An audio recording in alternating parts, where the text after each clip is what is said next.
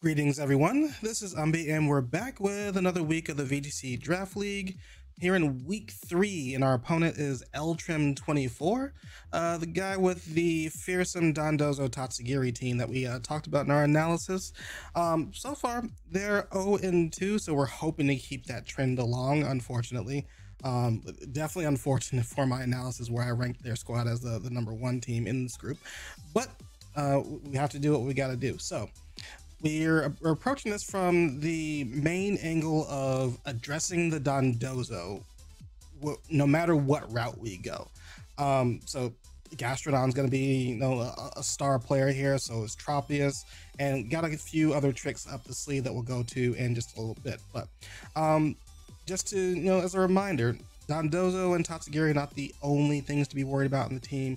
Uh, Sylveon here is one of the probably the heaviest hitter, actually the heaviest hitter outside of um, a boosted Dondozo here. So I have to make sure that I'm prepped for whatever it can do. Um, and of course, um, Talonflame, um, activating Tailwind to uh, grab speed control because overall my team um, is a little bit faster. Um, but you know, it's nothing that they can't overcome with you know the commander activating on Dondozo and a, and a quick tailwind for their team. Um, I'm also not, not necessarily worried, but I want to keep, I want to be mindful about Gothorita as well. Um, it's not the hugest threat to my team, but just the ability to allow my opponent to reposition the way they want to based on my lead, I think is pretty powerful as, you know, as well as having the fake out. Um, by virtue of me having Gholdengo though, that might be a lower priority since Gholdengo gets to both avoid fake out and escape the, the shadow tag. Now, as um, last thing, before we get into the uh, squad that I chose, um, I did trade out Mabosstiff for Hawlucha. Mabosstiff was meant to be a bulky intimidate user slash snarl user um, to slow down teams. However, like its stats are just not impressive for the role that I envisioned it for, um, nor is its move pool, um, if I'm being honest. Um, so I just wasn't bringing it to matches. So I figured I'd go ahead and drop it and pick up Hawlucha, which has you know a specific use case for this match. Um, so we'll actually talk about it first. Um, you see here with the safety goggles, um, Tera Ghost, and a, a, few interesting moves here. Um, so the safety goggles just to you know synergize with the, the rest of the team. You see it's mostly immune to the sandstorm that I'm setting up with Hippowdon. Um, but also, if they decide to bring uh, Vivillon, I don't want the Rage Powder or Spore messing up what I'm trying to synergize Hawlucha with. Um, and number one on the list is Gholdengo. Um, when dealing with the uh, Dondozo, if I nasty plot with Gold, um, Gholdengo, obviously the unaware ability is gonna you know make sure it doesn't care about what I throw at it, right? Um, however, with Hawlucha, I can use entrainment on Gholdengo. Normally, the Good as Gold ability shuts down the entrainment. However, Hawlucha, as you can see, has Mold Breaker. Um, and then it's in, using entrainment to give Mold Breaker to Gholdengo, which would then bypass the unaware um, with any boost that I may have used to you know, get Gholdengo up to speed, so to speak. All right, so that was just kind of it was a, a, really cheeky type of strategy that I, that I cooked up. I was hoping you I can make use of it. Um, so we'll see what happens there. And then uh, Feather Dance is also to slow down Dondozo. Um, Dondozo being so slow would have to go max speed in a jolly nature in order to outrun Hawlucha. It's actually blazingly fast, surprisingly. Um, so I figured, okay, I just go ahead and max speed Jolly Feather Dance. That slows it down a little bit as well, just as a backup plan.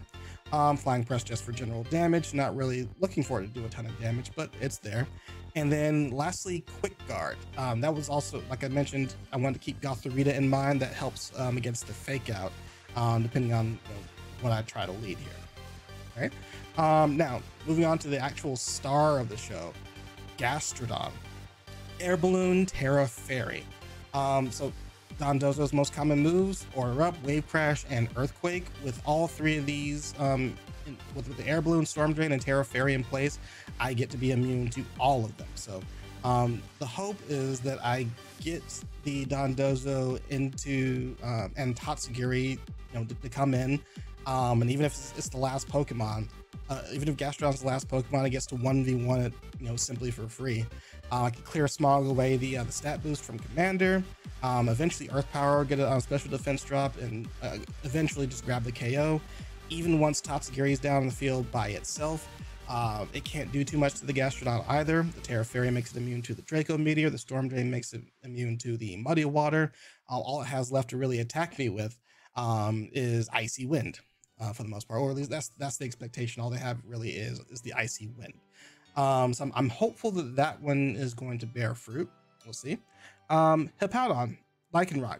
Um, the Sand Rush duo I thought would be pretty good into the team. It, if they brought Talonflame, it makes it essentially to where I don't care too much that they set up the Tailwind because Lycanroc will still be faster than most everything on the field once it has its own speed boost versus their um, Tailwind speed boost. Um, it's also another way of you know, semi dealing with uh, Dondozo once it's in place. Um, with the Endeavor strats are are, are not anything new.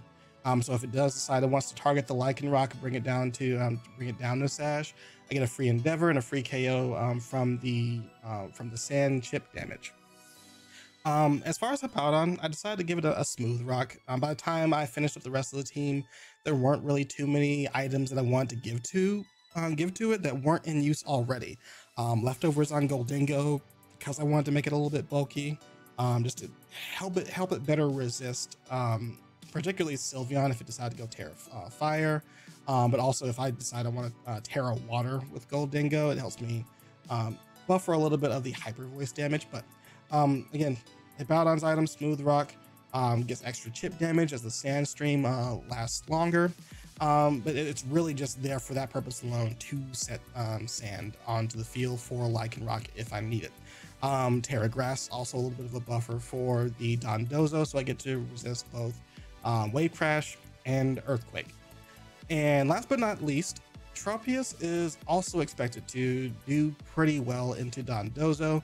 Um, it's pretty bulky. You can see I've got the bold nature on 212 defense. If Harvest activates, I get you know a ton of recovery from um, the Sitrus Berries activating, and of course Leech Seed um, being active on Dondozo because its HP stat is ridiculous. We get a ton of healing from that as well. So it's just going to be a stall bot through Sitrus Berry Harvest, Giga Drain, and Leech Seed, um, while taking minimal damage overall. Um, so like the it's, it's, it's, already resistant to the wave crash. It's immune to earthquake. Um, the only thing I have to worry about is damage from the order up in that case, um, typically. Um, so we also have Tera Steel on it, which would help it uh, to resist the the initial order up. And then we have Wide Guard on the on the back end. So once we do Tera Steel, once we have the Leech Seed set down, um, if it does want to use Earthquake, then we just get to spam Wide Guard and we're we're perfectly safe. Um, so yeah, I think I've insulated pretty well into the team overall, or at least into Dondozo overall, while still keeping options open for offense into LTrim's team. We'll just have to see how it pans out. All right, so we've got game number one here, and this set's going to be really interesting, trust me. Um, and we got some interesting options here from LTrim's uh, side here. Dondozo Tatsugiri is expected, Sylveon expected, but three new players on the back end of their draft Cloyster, Skuntank, and Lumineon. Um, so let's just go ahead and get right into this. I'm, I'm not going to spoil anything by what's going on here because game one, I don't expect anything that happens. They lead off with Dondozo. Uh, makes it easy for them to just slot in Tatsugiri and trip me up if they want to. And they also lead Skuntank. Kind of figure out what it's doing here. They immediately go for a Sucker Punch, bring me down to 5% health. Kind of glad I invested in the bulk there to kind of survive it. I go ahead and use uh, use Rock Slide, not really afraid of the Wave Crash, or in this case, Liquidation. They want to save some health here, which brings me down to Sash. But now I'm in Sucker Punch range, so I can't re readily attack here um, as scenes as they go for the Sucker Punch here. Um, I'm kind of forced to uh, attack with both Pokemon, so I lose Lycanroc for that. Do a ton of damage into Dondozo, but Skuntank is still at large. Now, I am heavily on the back foot here. Only two Pokemon versus a full four. All I've got is Hippowdon and Gastrodon to try and salvage this. But that's a really tough ask. Um, as I go ahead and bring in the Tatsugiri to beef up the Dondozo. Um, now, keep in mind, I still do have the the technology with the um, the Gastrodon. They don't even they don't even want to worry about it. They just bring in Sylveon to go ahead and clean up here. Um, since I can't resist it with either of the terrors that I have here, not even gonna um, bother with that. I'm just gonna try and stall a little bit, do as much damage as I can, but without enough damage into the Sylveon, it's pretty much a lost cause. Um, so Gastrodon gets the air balloon popped. Hyper Voice going into the Gastrodon does half of the half of my health. I'm already chipped out a little bit. Clear Smog. I was um, trying to scout out for the throat spray here, um, just to get some information for the uh, the next game, but um, they are already revealing Life Orb chip, so no nothing to worry about there. Still, again, just gonna fight it out. See if I can get some damage down here. Um, maybe if I pick up the knockout onto the Sylveon, I might I might stand a chance, get a chance to recover with the other Gastrodon. Um, I also go for actually what I do is go I go for the Rock Tomb here, not paying attention to the fact that I'm already icy winded. So any rock um, any speed drops in there and are not going to matter, and they can still continue to icy wind me here. Um, they're pretty safe to just clean up game number one uh, pretty efficiently. So um, already I'm tripped up. The Sucker Punch from the Skuntank throws everything out of whack. Um, I kind of left my Lycanroc exposed. Um, so now it's under threat of getting KO'd by the Sucker Punch. I have to kind of flip a coin um, and guess what it's going to do. Um, though, technically, if I can look back at the match, that might have been a, a knee jerk reaction. I could always switch out there. We know what Sucker Punch is coming. Um, so the main thing I just have to do is uh, get Gastron to play. That might help absorb the uh, the liquidation from the um, from the Dondozo, and I can kind of play out the turns. If I get Skuntank off of the field, then I stand a chance to come back in later on with perhaps Lycanroc, uh, click Endeavor, and then pick up a KO from there. Um, but we move on to game number two. Make some adjustments with the uh, Skuntank in mind. I think that's going to be um, a heavy player because I ideally I do want to get Gholdengo into place to kind of get the ball rolling, but we've got to make an adjustment to make sure that we don't get uh, screwed over like that again. Um, so they go ahead and go with the same lead here. And this time I just go ahead and rock the, um, the Sand Duo. Um, I recognize that you know, Dondozo might go for an attack here, so I bring in the the Gastrodon, hoping to get a you know, plus one. Um, instead, they go for an Earthquake. Um, fortunately, I was stomping tantrum uh, the Skuntank, and they Earthquake it, you know, to send it to its doom. Uh, on a little bit of life support here, but next to the uh, the Gastrodon, who gets a chance to show off the tech, um, I get to survive thanks to his, my great defense and HP stat. Uh, slack off, recover the damage, and now Gastrodon gets to take control of the game. We cleared out the uh, stat boost through Clear Smog. Hippowdon gets to recover up through Slack Off, and it's just normal poison, so we're not worried about it's not toxic damage, so we can continue to uh, to do this over and over again. Um, we are going to do some repositioning though. Tropius comes in. We get we're gonna get some Leech Seed recovery uh, going. We, we, we definitely just want to be in position to catch the Tatsugiri after the Dondozo is gone. But as you can see, Gastrodon in great position. You know, the technology we came up with is working perfectly. Um, I guess they want to speed up the game, so they go ahead and give me a, a uh, special attack boost, uh, activating the Storm Drain there. Um, and also going to protect Seed's doing its job, so we are all good here. Just stalling out until we can get the correct position, cover some health with Gastrodon, no big deal. Uh, we finished off Dondozo, and we launched an Earth Power into Tatsugiri, almost taking it out. I wish it had taken it out immediately right there. Would have saved me um, a little bit of, uh, of anxiety here. Um, but with Wide Guard also coming in clutch through the Tropius, we get to stop out the Icy Wind and Hyper Voice. They don't have much of a recourse here. Um, Sandstream does go down, but we can take care of the Tatsugiri later as long as we spam Wide Guard. Seems like they're locked into Icy Wind, so that's fine. The Shadow Ball coming out from Sylveon, not doing a ton of damage into my Tropius, and we hasn't even activated the uh, Sitrus Berry yet. So we can just keep you know, attacking into the Sylveon and pick up the KO eventually, getting our recovery, and then we finally finish off the Tatsugiri. Game is locked. So two star players are working out perfectly here um, in the mid to late game versus this team. So I'm feeling pretty good going into game three. Here's where all the, well, here's where some of the weirdness happens here. Um, they lead off Lumineon and Skuntank this time. I go for Hawlucha and Gholdengo. Um, so here's the uh, here, here's the first thing that's a little bit awkward after some further review here. I reveal Quick Guard. At this point, my opponent doesn't know that I have Quick Guard. Um, I this is meant to stop the sucker punch from activating, but I used Nasty Plot, which would have avoided the Sucker Punch either way.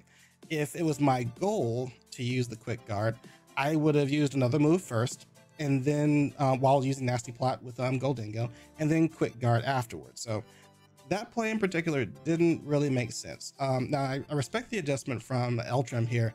They wanted to make sure the Sucker Punch KOs this time, um, so they go for a Helping Hand on Lumineon to try and secure that. Um, but unfortunately, I show my hand um, early and show that you know the Sucker Punch from, from Skuntank is not going to work out, right? So what they end up doing is uh, switching out into Sylveon. Um, I protect because I still don't know what item is on the Skuntank just yet. Um, and for the trouble, they get off a free Rain Dance and a free Tailwind. Um, you know, I'm just kind of caught off guard, not sure what's particularly doing. Um, I fire off a Make It Rain while I can. And here is mistake, well, next turn, I believe. Mistake number two is coming up pretty soon here. Um, I don't mind that the Hawlucha has gone down here.